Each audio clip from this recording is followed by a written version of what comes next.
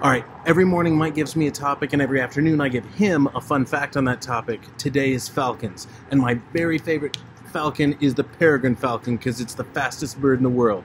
This thing can travel at 200 miles per hour, which it's in a dive, so it's not like going to be doing that around a NASCAR track, but still, that's amazing. Uh, there's two cool things about that. Number one, at the end of that dive, it generally pulls up and knocks whatever it's diving at in the head. Like it'll clutch its claws into little fists and just knock them on the back of the head and kill them instantly because it's knocking them at 200 miles an hour. Amazing. The other thing that's kind of neat that I just found out today was that they have this little ridge in the center of their nostril so that that breaks up the air pressure so they don't explode their lungs while in a dive. Unbelievable. Peregrine Falcon, check them out. They're gorgeous. Uh, thanks for Falcons, Mike, and everybody have a great evening.